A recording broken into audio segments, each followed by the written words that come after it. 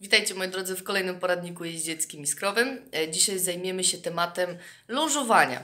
E, Chciałabym Wam pokazać w formie filmów, e, w jaki sposób moglibyście pracować, by osiągnąć rozluźnienie, by koń pracował z szyją poniżej kłębu i rozwinąć najważniejsze partie ciała konia. Więc zachęcam Was do oglądania.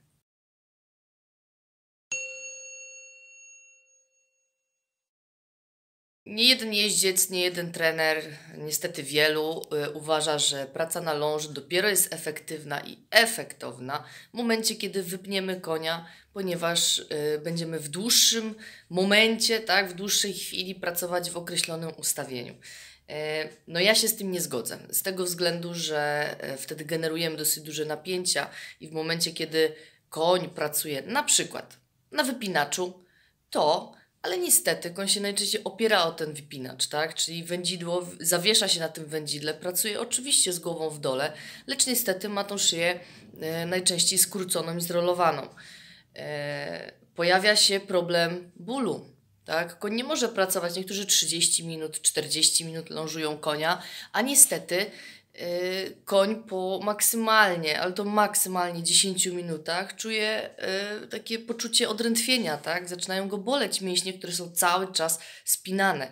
Pamiętajcie, że koń musi mieć przerwy, pamiętajcie, że koń musi wyciągnąć nos do przodu, a w momencie, kiedy my wypinamy konia, koń tego nie jest w stanie zrobić. E, jedni teraz by powiedzieli, tak, ale ja wypinam tak, żeby koń mógł nos do przodu wziąć. To powiedzcie mi, to po co wypinacie?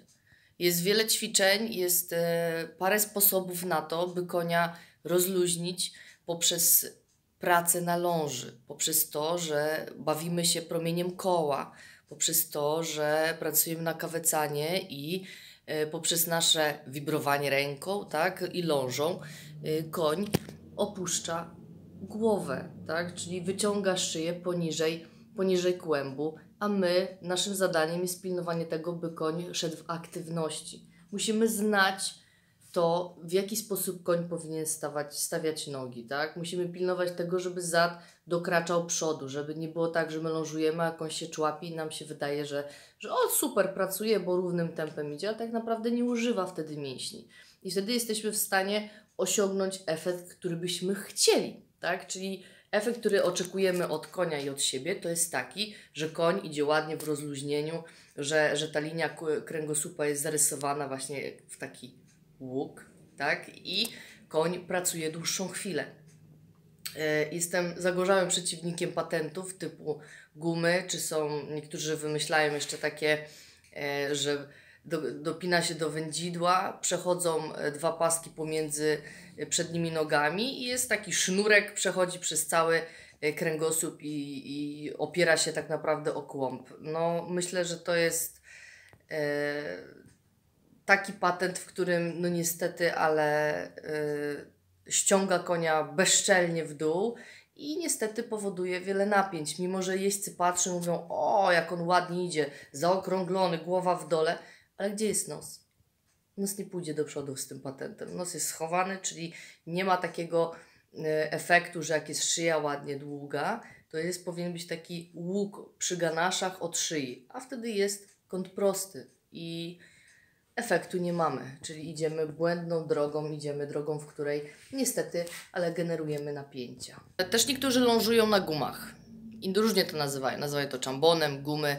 E, zapięte tak, że założone są na potylicę i przechodzą przez wędzidło i pomiędzy przednie nogi.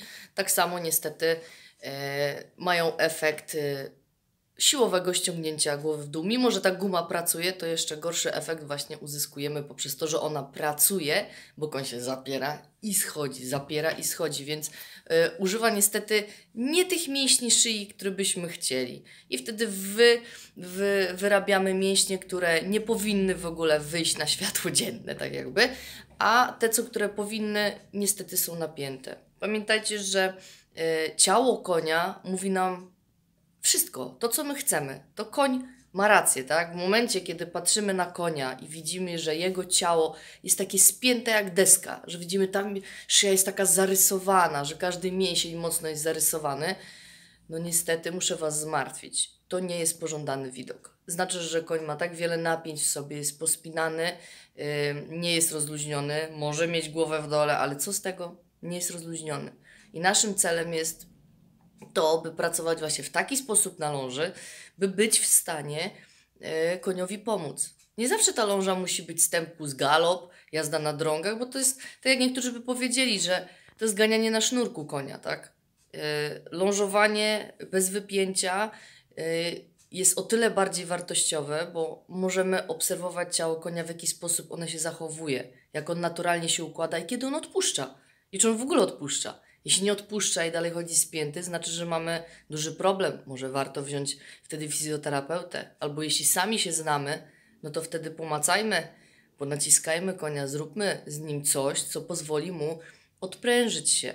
Ja jestem zwolennikiem właśnie takiej pracy na ląży, że obserwuję konia, pracuję z nim w taki sposób, by e, obserwować jego ciało, by pracować promieniem koła, pomniejszać, zwiększać koło, jak trzeba e, ukierunkować konia, gdzie ta głowa ma być, ale nie możemy koniowi skracać szyi.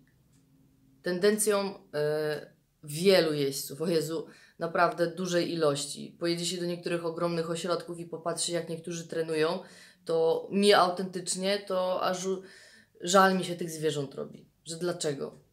Dlaczego tak?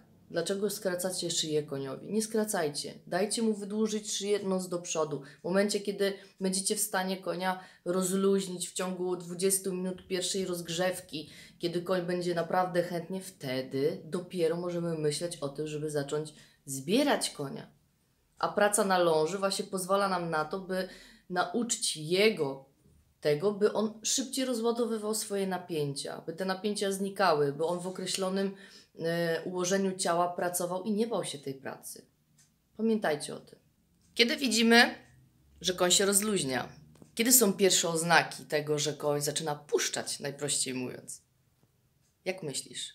Po pierwsze, Koń najpierw zaczyna prychać, zaczyna dużo prychać, wyciągać troszkę nosek, chcieć ten nos wyciągnąć. Jeśli masz go na wypinaczu czy na innym patencie, który spina mu głowę, nie zauważysz tego. Yy, zaczyna machać głową, cyk, cyk, cyk, przerzuca, trzepie się. Znaczy, że puszcza karkowy, znaczy, że rozluźniamy mięsień, tak? Yy, kolejnym etapem, w którym widzimy, że koń zaczyna puszczać i to jest najwspanialszy, najpiękniejszy widok i najczęściej on powinien wystąpić w momencie, kiedy doraźnie pracujemy. Zaczynamy wypuszczać konia na ląży, na przykład on już podejdzie do nas pod końcowej, na końcowej pracy, żebyśmy my mogli go nagrodzić, pogłaskać. Koń zaczyna ziewać. Ziewanie to znaczy, że koń zaczyna tutaj właśnie rozluźniać mięśnie, rozluźniać ciało i on się odprężył. Jak koń y, lążujecie konia i przerywacie ćwiczenie, bo tak pracujecie, przerywacie, na przykład zmieniacie kierunek i koń mocno tak wypuszcza powietrze, prycha takie, oh, to znaczy, że on y, rozładowuje napięcie. Znaczy, że on myśli, jest, jest taki nastawiony na robotę, znaczy te mięśnie pracują i potem jak te rozprężenia są takie, oh, wypuszcza te powietrze. To jest bardzo dobre bardzo dobra oznaka. To jest oznaka, w że idziemy w dobrym kierunku. Jeśli ktoś z Wami w taki sposób nie rozmawia, nie rozmawia, znaczy, że coś jest nie tak. Coś tu idzie nie tak. Coś, coś robicie, że ten koń się nie rozluźnia, że on idzie w określonym ustawieniu, ale to nie ma nic wspólnego z odpuszczeniem napięć, tak? Więc to jest bardzo ważne. Zwracajcie na to uwagę. Co koń robi i kiedy. E, moi drodzy, to na tyle. E, temat lożowania to jest e, temat rzeka. Tak naprawdę to jest kropla w morzu o tym, co powiedziałam, bo pokazałam Wam, powiedziałam Wam, co ja myślę o tym i mam nadzieję, że filmy Wam trochę pokazały, rozjaśniły, jak można z koniem pracować i coś tam osiągnąć, tak? Czyli rozluźnienie i, i jakieś efekty z pracy. Mm, ja lążuję zawsze swoje konie, które mam w treningu czy znaczy nie zawsze, ale często lążuję je przed lekcją. Jak widzę, że jest ponapinany, że coś jest nie tak, to, to najpierw lążuję, pracuję z nim z ziemi, potem dopiero wsiadam i nigdy nie żałuję tych decyzji. Więc życzę Wam e, dużo cierpliwości, dużo spojrzenia o wiele szerszego na temat lążowania i nie wypinajcie koni. Bardzo Was proszę. E, to jest. E, jeździeckie, można powiedzieć, średniowiecze. Nie bądźcie w tym średniowieczu. Ja tylko jeszcze na koniec chcę powiedzieć, że e, to, co ja używam do lążowania, czyli ten kawecan, to jest kawecan, to jest kawecan Manolo Mendes. Zachęcam Was do tego, byście gdzieś tam wklepali sobie w internet i poczytali o tym, o tym kawecanie. Ja szczerze polecam. Najlepszy, najlepszy przyrząd, tak jakby do tego, y, do, do lążowania, który miałam. Okay, kończę moi drodzy. Dziękuję Wam za to, że jesteście, dziękuję, że oglądacie. Piszcie, jeśli macie jakieś wątpliwości, a ja już żegnam się z Wami. Pozdrawiam.